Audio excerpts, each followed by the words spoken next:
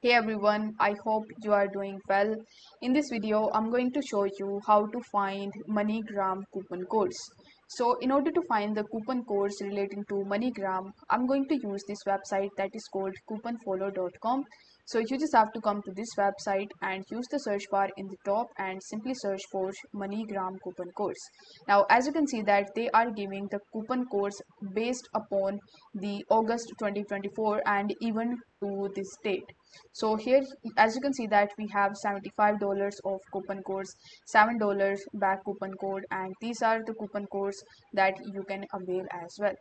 so you just have to simply select the coupon code in which you are interested. If you want to get more details about it then you can click on the show details option in the bottom and it will show you uh, this coupon code in front of you. So you just have to copy this code from here and then click on redeem at moneygram.com so what this will do is it will redirect you on moneygram.com so you just have to simply uh, create your account on moneygram if you don't have an account on moneygram or you can even uh, into your account if you already have an account on it.